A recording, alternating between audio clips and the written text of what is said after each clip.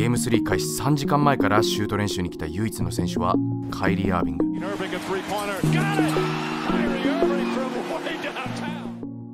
負ければ0勝3敗となるマストウィンのゲーム3でカイリーはマブスの NBA ファイナル史上最多得点を記録していきました。一方のボストンはポルジンギスが怪我で欠場と万全な体制ではなかったもののバスケットのお手本のようなボールムーブメントでゲーム3は互角の勝負に。ダラスホームに戻ってきたゲーム36月12日この日は2011年にダークノビツキがダラス・マーベリックスで初優勝を成し遂げた日。優勝メンバーも駆けつけたこのゲーム3でマブスはシリーズに希望を見つけることができたのでしょうか。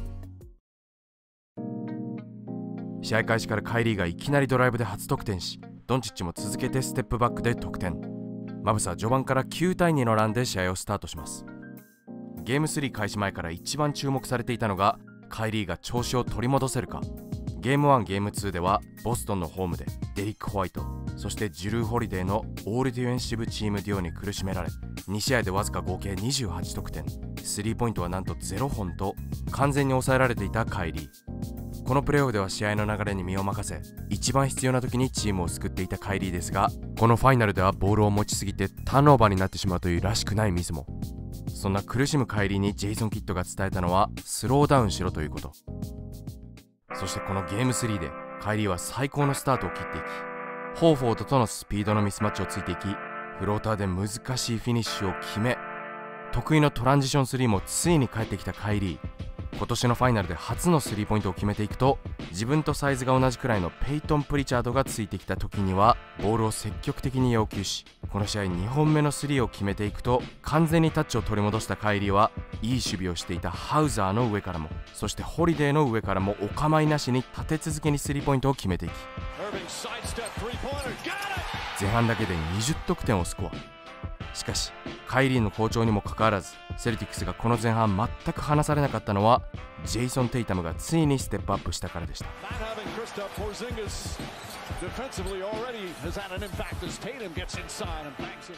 不調だったスリーポイントも返ってきたテイタム。カイリーと同じくテイタムも前半で20得点をしていきます。このプレーオフで特にメディアが話題にしようとしているのがブラウンとテイタム。どちらが上のプレイヤーなのかということ。ジェイソン・キッドはジェイレンがベストプレイヤーだと発言。Well, Jalen's the best player, so he picked up Luca full court. He did everything, and that's what you know your best player does. ジェイソン・テイタムはゲーム1では16得点。ゲーム2では12アシストをしたもののシュート成功率は27%の18得点と。スコアリングに関しては不調気味の中ジェイレン・ブラウンがこのファイナルでもテイタムをアウトスコアしておりチームハイの得点を記録していることもありファイナル MVP の筆頭候補に。ブラウンとテイタムの中を引き裂きテイタムが個人賞を狙ってアイソレーションを増やしてくれればマブスとしては守りやすくなるのですがテイタムとブラウンは気にせずプレーを続けているようです。Early, early in your career, you know, you get all the points and the stats and the individual awards, and then they say you haven't won, and now you're in a position, uh, you know, to win a championship. Now they say you're not putting up numbers. you're not scoring enough. チームプレーヤーに徹しているテイタムそしてこのゲーム3では第1クォーター最後の2ポゼッションドンチッチはファールアピールが過ぎてディフェンスに戻らずここからトランジションで失点につながりさらに次のポゼッションでもファールアピールで倒れたことで誰もセーフティーがいなくなってしまいテイタムにダンクを決められ第1クォーター終了ゲーム2に続きオフェンスではテイタムを狙いまくるドンチッチ Doncic creating some space. ワンオンワンに関しては彼以上の選手は今リーグにいないと思いますがセルティックスのオフェンスとの違いは周りが棒立ちになってしまうこと変に周りにパスするよりもルカが打った方が効率がいい。これはあるのかもしれません。しかしセルティックスは少なくとも4人がこのファイナルでもセルフクリエーションができるプレイヤーですがマブスにはドンチッチを除けばハンドラーとして十分な信用が置けるのはカイリーのみ。ドンチッチがキックアウトした先でここからもまたプレーが生まれるといいのですがクリーバーがブロックされたように相手としては単調なオフェンスになっており僕としては PJ ワシントンなんかはねもっと頼ってもいいんじゃないかとこのライブリーへのアシストを見て思ったわけですが、まあ、シーズンを通してルカとカイリーのバスケでやってきたので今年はそこを信じきるんだと思います。ポルジンギスがいなくカイリーもルカも好調の中でそれでもセルティックスは突き放されずチームバスケで食らいつき前半を51対50のマブスは1点リードで終えていきます。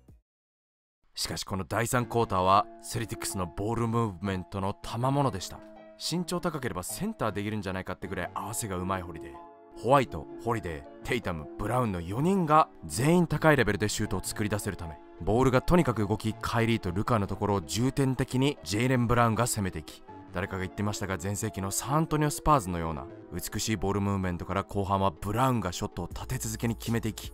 必要な時はアイソレーションから後半に入りマブスは91対70と一時21点差をつけられてしまいます。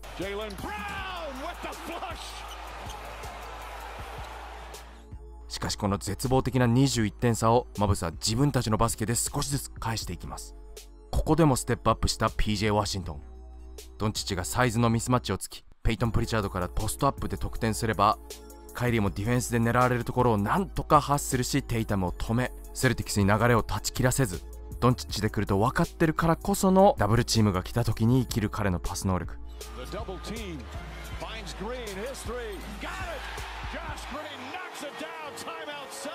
会場も大歓声に包まれ一人全く喜んでないナッシュをエルボーするノビツキー。そしてカイリーもドライブから得点し点差は9点差に。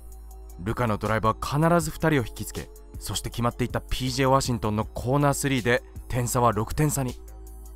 しかしここでドンチッチが5個目のファールをピックアップ。ジェイレン・ブラウンの腕が引っかかっておりこれはどっちに転んでもおかしくない判定でしたがこれで後がない5つ目のファールに。そして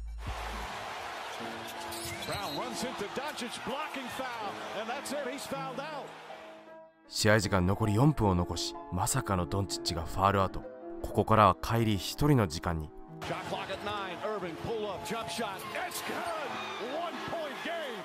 カイリーはこの試合35得点を記録しこれはマブスの NBA ファイナルでの球団記録。それでもハンドラーがカイリーだけになりオフェンスは停滞しその一方でボールが動き回るセルティックスのオフェンスとの差を痛感させられたマブス最後はセルティックスのエース2人が試合をクローズアウトしていきました。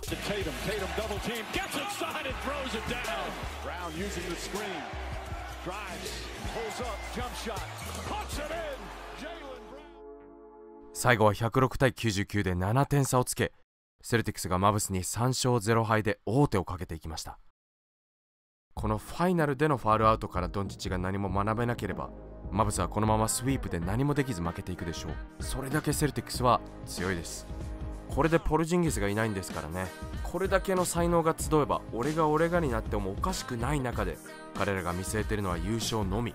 3勝0敗からのカムバックは未だ NBA のプレーオフで起きたことがありません。これから怪我の具合次第でポルジンギスもまた帰ってくる可能性がある中でどうすればまずマブスは一勝を挙げられるのか。視聴者の皆さんはここまで見てきてどこがマブスこれから一勝を挙げるためにキーだと思いますか？ぜひコメント欄で教えてください。そして